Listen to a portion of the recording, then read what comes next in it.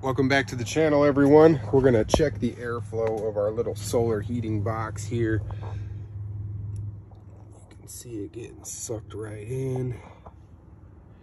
See the smoke flying right through there and it transfers right across all of these little radiators and it's getting shot right out the back.